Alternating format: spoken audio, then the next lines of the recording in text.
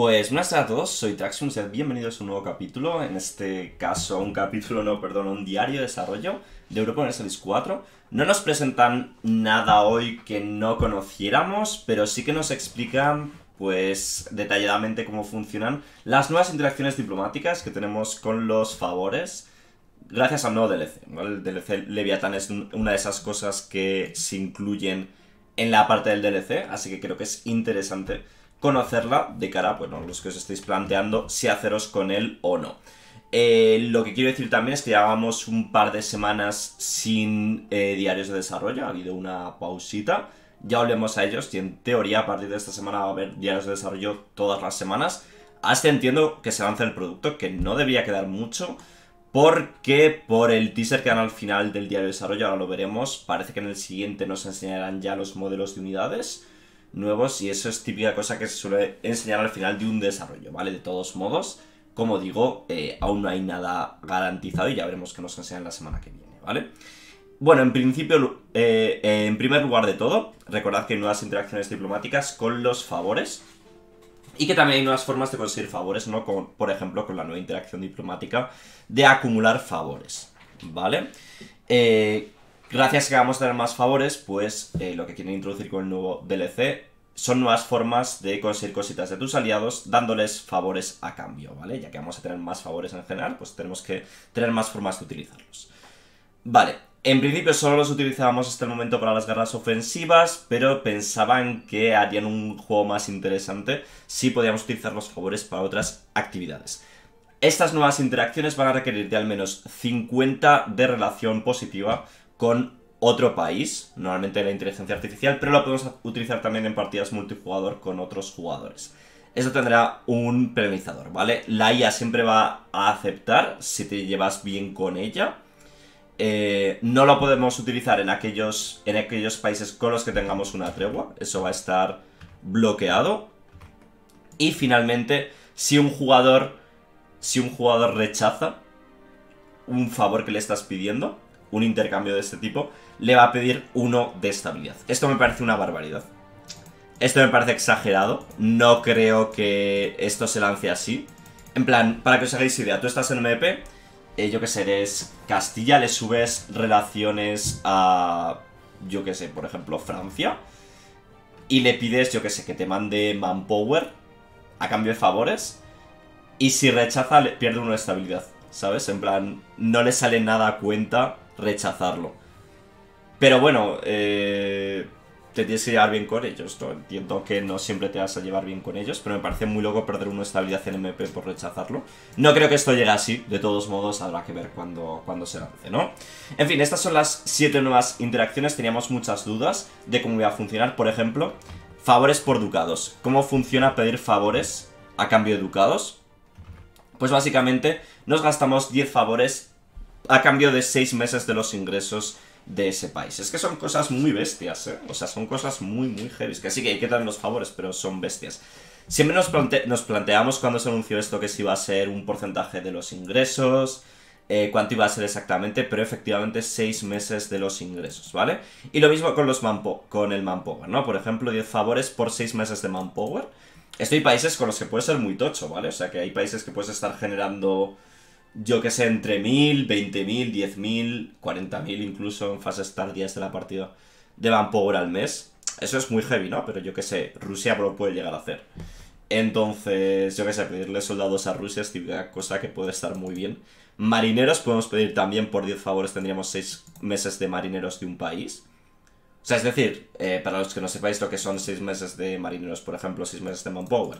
Si un país saca 1000 de manpower al mes, lo que le estás haciendo es pedirle 6000 de manpower de golpe. Que tampoco lo veo muy bestia porque el manpower suele volar y hay una, un cap, aunque te puedas pasar de, ese cap de manpower, de esa limitación, mm, se acaba yendo. Igual que el dinero, igual que los eh, marineros y todo, lo acabas gastando, o sea que tampoco es tan loco.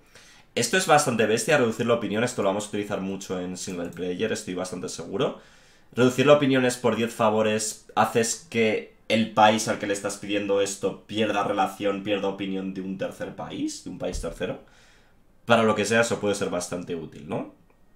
Pedir de vuelta un core. Esto me parece brutal. Y esto me extraña mucho, de hecho, que no estuviera en el juego previamente. Por 50 favores puedes pedir una provincia núcleo en la que tengas, bueno, una provincia en la que tengas un núcleo. Eso está muy guay porque si un país tiene un core tuyo no tienes por qué odiarle. Es decir, puedes llevarte bien con él. Gracias a esto no te puedes llevar bien con él y pedirle la provincia diplomáticamente, como comprándosela o lo que fuera, ¿no? Que ya se podía vender, ¿no? Pero quiero decir que ya no ya no tienes ese impedimento de tener que ir necesariamente a la guerra con un país núcleo, así que esto está bien. Romper alianza, un poquito... Lo veo muy bien también, estilo reducir la opinión, esto en single player es muy clave. Recordemos que esto se va a poder utilizar en MP. Por 50 favores puedes romper una alianza con alguien y si no va a perder estabilidad, que en este caso puede que le salga cuenta. Y vas a bloquear que se alíen con ellos durante una década completa necesitarás estar aliado con la nación con la que lo estás utilizando. A ver, esto habrá que ver, pero se le va a dar uso seguro. Y esto ya me parece la locura absoluta. pedir, a un, pedir un heredero. 90 favores es súper caro, eso sí. Los dos países han de ser monarquías. Y no tienes que tener un heredero. Le darás un heredero, o sea, tendremos un heredero de su dinastía. Bueno, pues esto podemos imaginar que países como Austria le viene muy bien. Castilla quizá también. Muy tocho, tío, no sé. En fin, han cambiado algunos. Han cambiado algunos, por ejemplo, han cambiado el de eh, cambiar favores por confianza. Esto nos va a dar 5 de confianza cuando tengamos 10 favores. Está bien. Y prepararse para la guerra que ya estaba que se lo indicábamos y a cambio de 10 favores hacía que no empezasen ninguna guerra en los siguientes 12 meses y aumentaba la probabilidad de unirse a nuestras guerras, ¿no? Esto va a seguir estando disponible y, bueno, un montón de interacciones nuevas que yo creo que van a haber uso. Eh, supongo que si alguna está muy rota para MP, eh, habrá limitaciones por parte de los jugadores porque, joder, habrá... Es que no sé, eh, sobre el papel suena muy loco, ¿no? Algunas cositas. Pero sobre todo en single player esto nos da un montonazo de agencia como jugador, en plan, nos da un montón de posibilidades de interactuar con la IA y eso siempre es bienvenido. Porque a veces el juego es como muy obtuso de que no le puedes transmitir a la IA a tus aliados o a nadie en plan de, oye, que quiero hacer esto, tengo este plan. Y gracias a esto y a las interacciones que esto lo introdujeron con el DLC de Cossacks, creo. Todo el tema de los favores y por ahí, habría que verlo. Vamos a verlo. Eh, ¿En qué momento se introdujo esto? Es que no lo van a integrar. O sea, no, lo van a señalar. Pero eso, o sea, fue típica actualización. Aquí, con Cossacks, efectivamente. Pues es que fue típica actualización que, que dices, tío, eh, esto añadió un montonazo de, de interacción al jugador con la IA, de poder hablar de las cosas y tal. Y de alguna manera todo lo que introducen con, con Leviathan, con este nuevo DLC, también ayuda. Es un poco Cossacks 2 en este aspecto. Y mola que expandan esto, ¿no? Que expandan un poco el juego diplomático. Bueno, eh... Bueno, quieren darle más poder al juego diplomático para evitar algunos conflictos.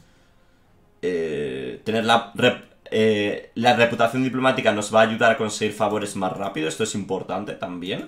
Y tener más diplomáticos en más naciones va a ser muy poderoso. Eso es cierto, eso es cierto. Si tú tienes muchos diplomáticos, en plan pillas las ideas de diplomacia o cualquier grupo de ideas que te dé relaciones o cualquier cosa, eh, va a ser brutal con el nuevo DLC, porque vas a poder tener muchos diplomáticos haciendo juego.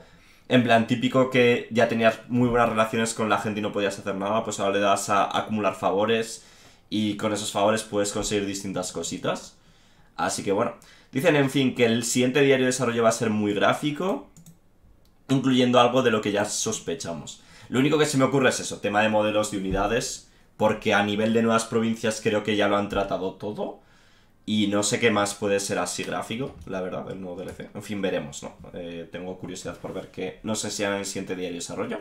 Y esta semana va a ser un poco flojita en diarios de desarrollo. En principio solo deberíamos ver uno más de Stellaris y yo creo que ya.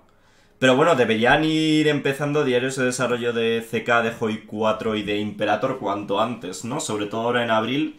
Abril-mayo deberían ir volviendo porque nada será la ParadoxCon y si no anuncian cositas en la ParadoxCon, de todos estos juegos pues va a ser un poquito bajo, ¿no?